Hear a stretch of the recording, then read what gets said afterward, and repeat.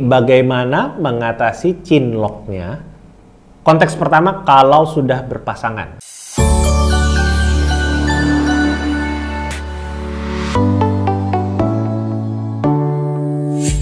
Kalau kita menyadari kita sudah punya pasangan. Yang pertama adalah tambahkan investasi dan keintiman kita sama pasangan kita, sama orang yang berhubungan sama kita, alias pacar kita, suami kita, atau istri kita. Maksudnya tambahkan investasi apa? Ini prinsip yang ada di kelas cinta banget. Cinta adalah hasil investasi. Ingat ya, itu prinsip di KC banget. Jadi kalau kita menambahkan investasi dalam bentuk tenaga, waktu, uh, uang, pikiran dan lain-lainnya itu sama pasangan kita, maka kita akan menambah kelekatan dan keintiman sama pasangan kita. Kita banyak main, bercanda, memuji, berduaan, menggali, menemani dan lain-lain. Kalau kita banyak investasikan itu ke pasangan kita dan hubungan kita, maka perasaan kita terhadap pasangan atau hubungan itu akan bertambah. So, agak lumayan aman lah gitu loh, walaupun kita punya cinlok sama orang lain. Jadi kalau saya balik lagi ke, ke cerita misalnya tadi nih, uh, saya dekat dengan cewek yang di bis tadi lah. Ini, ini cerita, kalau ini yang ini sekarang rekaan karena emang nggak demikian. Pada saat itu saya single tapi anggaplah saya sudah punya pasangan pada saat itu dan saya duduk dengan seorang cewek yang bidadari banget, cakep banget dan dia baik banget, hangat, terbuka dan kita akrab sepanjang satu harian penuh. Kalau saya sudah punya pasangan, kalau saya sudah punya pasangan pada saat itu, ya saya udah terlambat kan. Saya udah terlambat untuk menambahkan investasi karena udah kejadian. Tapi yang saya bisa lakukan besoknya sepulang dari uh, perjalanan karya wisata itu begitu sampai rumah kalau saya udah punya pasangan saya menambahkan keakraban sama pasangan saya. Saya ajak ngobrol dia saya ajak bercanda dia dan yang lain-lain. Besok keesokan harinya sebelum saya pergi ke kantor atau saya kalau cerita tadi adalah pergi ke sekolah saya banyak ngobrol sama pasangan saya, saya bermanjaan, saya bercandaan sama dia. Pokoknya saya tambahin lah apa yang biasanya saya sudah lakuin sama pasangan, saya tambahin. Kenapa? Karena itu pasangan saya. Dia layak untuk mendapatkan sesuatu yang ekstra ataupun spesial dari saya. Kalau saya tidak berikan ekstra, saya tidak berikan spesial sama pasangan saya, maka saya masih ada uh, masih ada sisa sumber daya yang bisa bocor sengaja atau tidak sengaja ke orang baru pada saat saya menyisakan tabungan energi saya ini, tidak saya habiskan ke pasangan, ini akan bocor pelan-pelan ke si cewek baru itu. Nah, makanya saya bilang tambahkan investasi dan keintiman. Tujuannya apa? Supaya habisnya sama pasangan. Bukannya pelan-pelan dikasih sama itu. Karena kalau pelan-pelan kita kasih sama orang itu, itu namanya kita berinvestasi sama si cinlokan itu yang cerita tadi pertanyaan yang sebelum masuk ke dalam sesi ini adalah saya mulai menindaklanjuti perasaan itu. Saya punya perasaan sama dia saya tertarik sama dia lalu saya mulai luangkan lebih banyak waktu sama dia. Saya mulai tambahin waktu ngobrol sama dia. Pada saat lagi di kantin saya nyariin dia dan saya ngobrol sama dia dan dia ngajak saya minta saya nemenin dia ke mana dan saya ikutin. Nah itu berarti saya mulai menambahkan investasi ke dia. Artinya perasaan saya ke dia akan bergulung dan bertambah jadi bukan cuma jatuh cinta doang, tapi akan mulai bertambah cintanya, bertambah sayangnya. Karena saya kasih, maka saya sayang. Ingat gak prinsip seperti itu teman-teman? Itu kan prinsip di kelas cinta. Kasih sayang itu saya kasih, maka saya sayang. Jadi kalau saya mulai kasih banyak ke si si cinlokan saya itu, di situlah perasaan perasaan saya akan lama-lama mulai bertambah sama si orang itu. Itu sebabnya saya lebih banyak kasih sama siapa? Sama pasangan saya saja atau sama hubungan saya. Nomor dua yang perlu dilakukan adalah mulai cerita sama pasangan saya ya tentang kehadiran si cinlokan ini. Misalnya ada cewek cakep tadi waktu di studi tour bareng, waktu di uh, saya keluar kota, saya di sana ketemu ada satu cewek cakep lucu banget itu lumayan agak tipenya saya gitu kita banyak ketawa dan segala macam ternyata kita banyak kemiripan saya cerita sama pasangan saya, saya terbuka sama dia. Tujuannya tuh bukannya laporan sebenarnya, tapi menceritakan menceritakan sesuatu yang menyenangkan. Jadi sesuatu yang menyenangkan itu jangan ditutup-tutupin. Kalau kita happy menang sebuah uh, apa sayembara atau sebuah kompetisi dan segala macam, kan kita bongkar sama pasangan kita, betul nggak?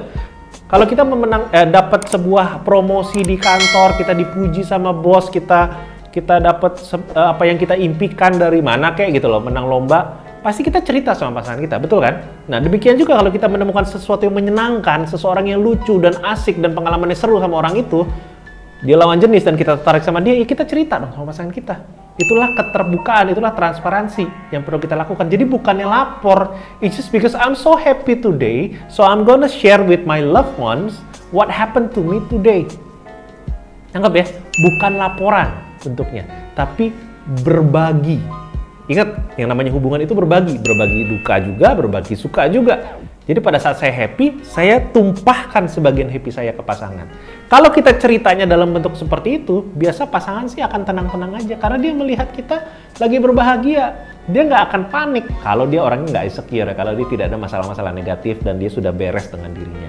Jadi kita berbagi sama dia. Dengan demikian pasangan kita juga jadi tahu oh ada orang-orang di, di lingkungan kantor, di lingkungan studi, di lingkungan uh, komunitas dan hobi pasangan saya yang yang deket nih, yang lumayan cakep nih, yang pasangan saya suka. Dia jadi aware, dia jadi tahu, ya, karena kita terbuka. Suatu saat, kalau kita tingkah kita udah mulai aneh-aneh, pasangan kita bisa bilang, beb, belakangan aku menyadari kok ada kurangnya di antara kita. Jangan-jangan kamu kurang karena kamu kebanyakan ke situ hati-hati loh beb. Jadi maksudnya poin nomor dua ini adalah untuk menghindari kerahasiaan, menghindari eksklusivitas bagi teman-teman yang udah pernah baca ebook saya tentang ekosistem selingkuh. Ya, kita terbuka sama dia supaya ekosistemnya tidak tercipta, supaya tidak ada kerahasiaan antara saya dan si Cinlokan. Nyangkat? Nah, poin nomor tiga masih sama sama poin nomor dua. Kita tambahkan lagi supaya tidak ada eksklusivitas antara saya dan si Cinlokan saya mesti membuka jembatan antara Cinlokan ini sama si uh, pasangan saya. Jadi bukan cuma saya cerita, saya asik bermain sama dia lalu saya cerita, bukan cuma begitu, tapi saya asik, saya cerita dan saya buka jembatan mereka. Saya buat mereka jadi bersahabat, berteman, dekat. Ya nggak harus jadi akrab lah, nggak harus jadi sahabat juga, tapi uh, si pasangan saya juga punya keasikan main sama si cewek itu juga konteksnya ya. Kalau saya suka main sama si cewek itu karena dia cewek itu pinter dan banyak ilmu ya pasangan saya juga bisa main sama dia juga untuk alasan yang sama. Jadi nggak perlu terlalu akrab-akrab banget. Kalau bisa jadi akrab bagus nggak akrab juga nggak apa-apa. Setidaknya pintunya kebuka mereka bisa berkenalan mereka bisa bersahabat itu akan semakin memperkecil kerahasiaan. Lagi-lagi ya perselingkuhan biasa dimulai dari kerahasiaan eksklusivitas ketika si A dan B itu tidak saling mengenal, di situ juga bisa terjadi banyak investasi yang rahasia. Saya diam-diam ngelakuin ini ke dia, saya diam-diam ngelakuin itu ke dia. Investasinya nambah ke dia karena mereka nggak saling kenal, jadi ya si ini nggak tahu ceritanya, nggak tahu kabarnya, nggak tahu apa-apa. Jadi investasi si ini tahu-tahu ngerasa kok kurang banyak ya di hubungan kita. Ternyata kurangnya itu udah saya tumpahin di sini.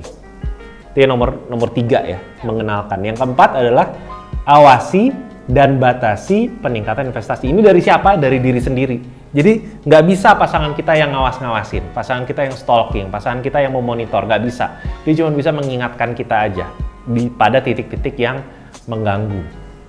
Yang perlu kita lakukan adalah kita mikir sama diri sendiri. Kita evaluasi nih. Oke, ini kan teman teman proyek, teman kantor, teman kuliah, teman apalah terserah dia bosnya saya atau dia karyawan saya atau atau apalah gitu. Kita kita mikir dalam dua minggu terakhir apakah ada peningkatan ya bahasa Inggrisnya eskalasi ada eh, ada peningkatan kedekatan antara saya dan dia apakah saya bertambah memberikan lebih ke dia dari segi uh, obrolan dari segi waktu dari segi apa bercandaan apakah ada sesuatu yang sifatnya bertambah? Kalau ada sesuatu yang sifatnya bertambah ya nggak apa-apa sih belum tentu sesuatu yang buruk atau terjadi perselingkuhan cuman ngerem gitu. Rem sadar diri gitu. Karena kita tahu kita udah punya pasangan. Apa yang bisa kita lakukan untuk ngerem? Ya kita ngomong sih sama pasangan kita. Biasanya pada saat kita ngomong kita sadar wih kok kayaknya sekarang gue jadi punya panggilan-panggilan khusus sama dia ya?